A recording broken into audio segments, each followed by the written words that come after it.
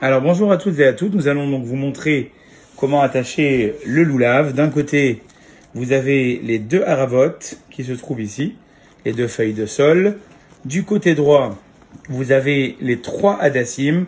Alors je souligne parce que plusieurs années on m'a dit, certains ont l'habitude de mettre un hadas au milieu, un à droite à gauche, un hadas à droite et un hadas à gauche. Nous on reste avec l'habitude de mettre les trois myrtes du côté droit, le loulave au milieu et la harava du côté gauche. À ce moment-là, vous arrachez proprement sur le côté du loulave des feuilles que vous séparez en deux.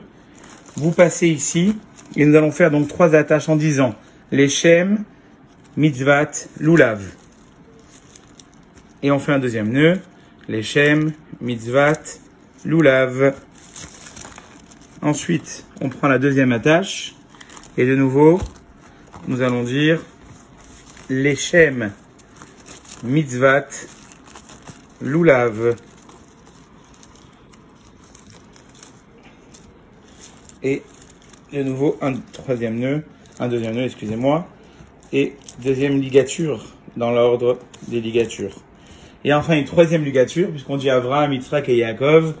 Donc troisième ligature, un peu plus haut, en disant de nouveau, en séparant bien les branches de chaque côté, les shem, mitzvat, lulav.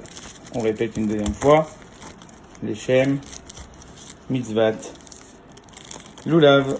Et voici votre loulave bien attaché